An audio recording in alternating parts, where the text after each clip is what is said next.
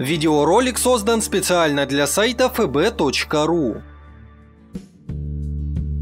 Мы сами преобразили старую квартиру в пятиэтажке, не имея опыта, фото до и после.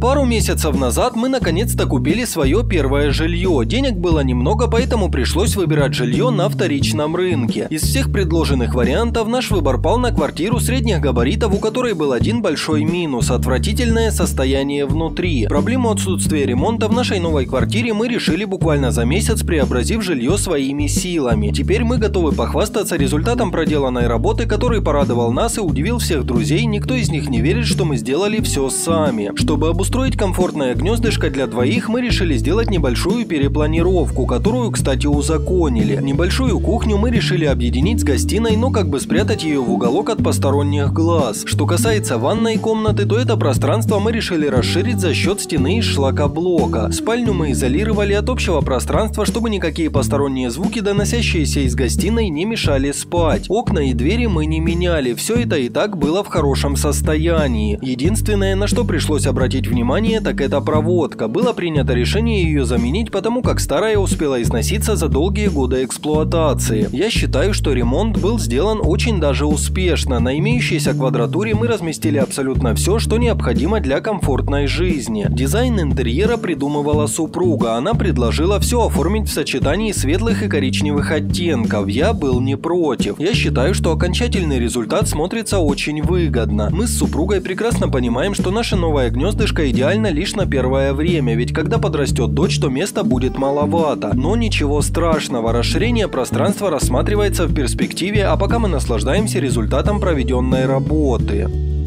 А как проделанную работу оценили бы вы? Поделитесь своим мнением в комментариях. Ролик подготовлен для сайта fb.ru. Если он вам понравился, не забывайте поддержать нас лайком и подпиской на канал.